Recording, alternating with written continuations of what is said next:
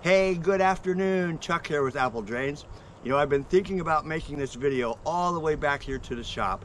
And if you watch the first video where we fixed this little problem for 10 bucks, this video is similar, but another area of the yard that holds water, can we do it twice? Can we duplicate our results?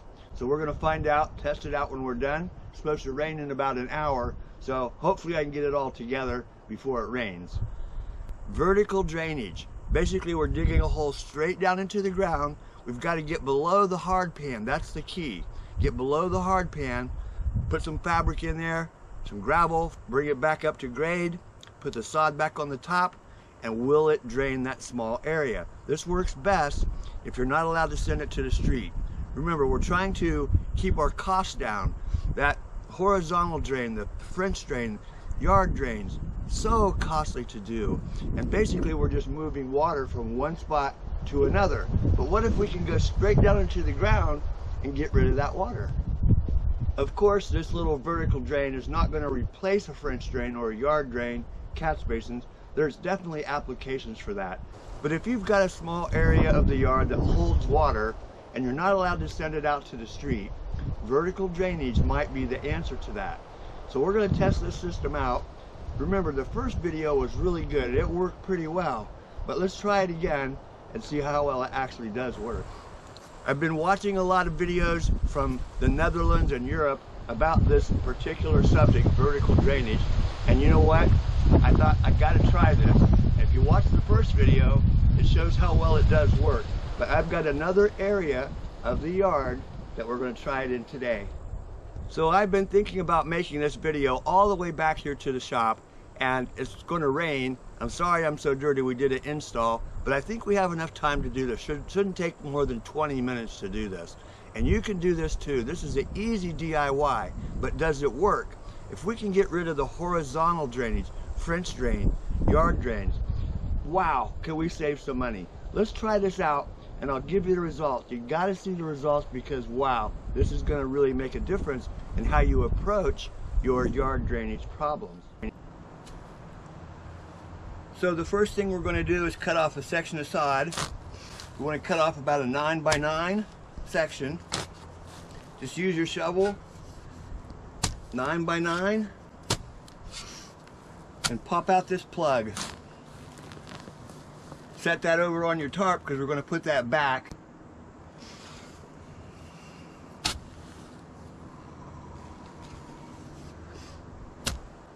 Next, using your post hole diggers, go ahead and dig down to the hard pan. You got to get down to the hard pan for this to work. So we want to get down about 24 inches. You can hear me hitting the hard pan right there. If you don't know what the hard pan is, this is a non-permeable soil, and it's like rock hard. Once you get down to about 24 inches, you should be below your hard pan. So here's our vertical drain. We need a little piece of fabric. It doesn't matter what kind of fabric it is, as long as it's a good fabric that drains out. We're going to push it down into the hole, open it up. We're going to fill this up with gravel. We're going to fill this up with gravel.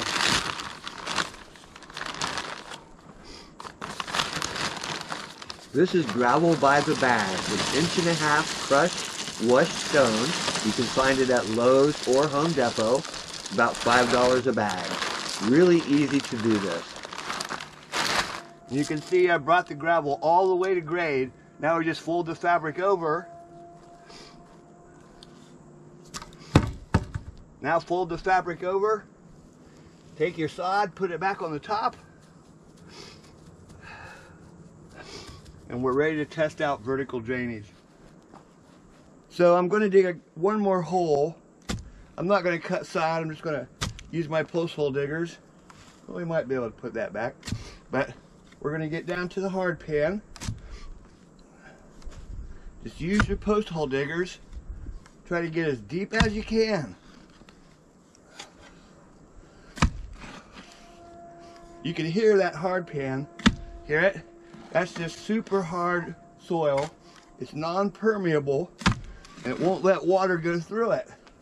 post hole diggers really do a great job to dig a straight down hole. Shovel works, but the post hole diggers really are a little bit better.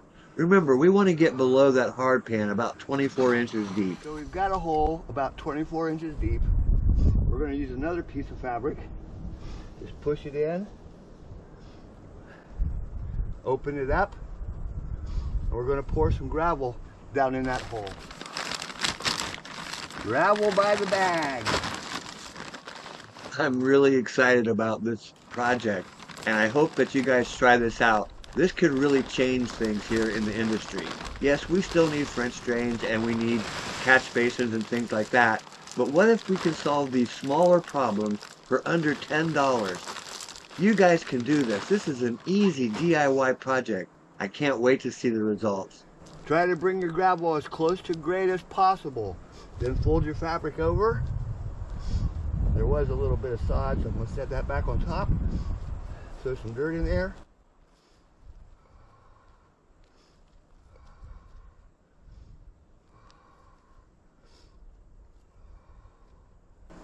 Now we just need to clean up the area, haul that old dirt away. That's no good. We got to get rid of that. Let's just see, let it rain. Let's see what it does. Let's do one more hole right here. And again, I'm not too worried about my sod.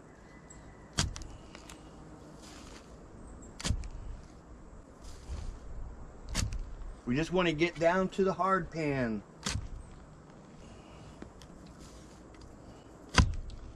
There it is.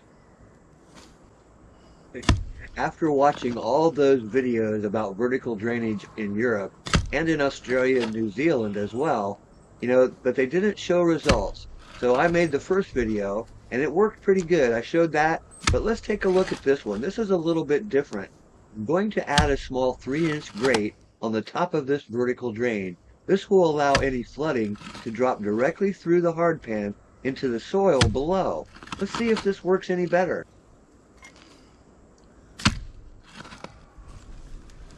So a third hole, 24 inches deep, little piece of landscape fabric push it down in. Now we're going to pour some gravel in here.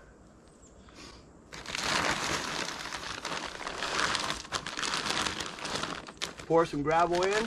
There were a number of comments um, from senior citizens actually about this project on the first video and I really hope that they gave it a try. This is not hard to do. It doesn't take a lot of energy.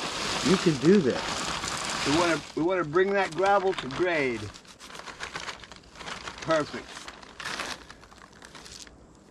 See, we brought that gravel right up to the top. Fold this over. Tuck it down in. And what I'm going to do here is actually put a grate on the top. So I put a grate on the top. Now all we need to do is step it down.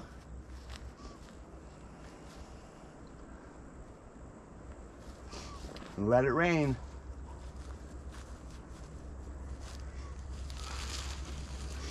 We'll haul this old soil away. So we just had a pretty good rainfall and yeah, there's some spongy areas. You can see that, but look how much difference there is in this area that we put the vertical drains. That is just amazing. It really did work pretty good. What I want to show you though but what I want to show you is, remember I've talked about fabric and how it slows down the inflow of water. So area one, area two, we have fabric all the way around it, right up to the top. But where we have the grate, watch this. This is amazing.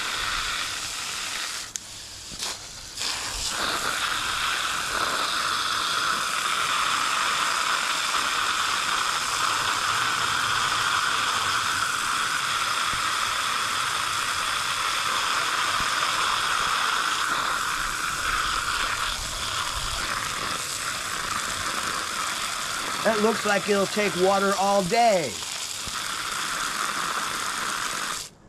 Straight into the ground below the hard pan. Look at that. Vertical drainage. The secret is to get below the hard pan.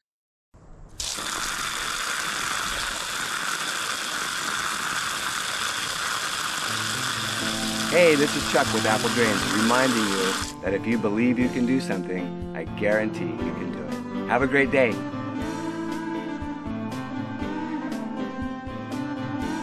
I did a live consultation with a new company in Houston, Texas, just the other day, and Manny, the owner, showed me some of their work, and wow, these guys are really on the ball. I highly recommend that you give them a call. Flood Mitigators. Link is in the description box below.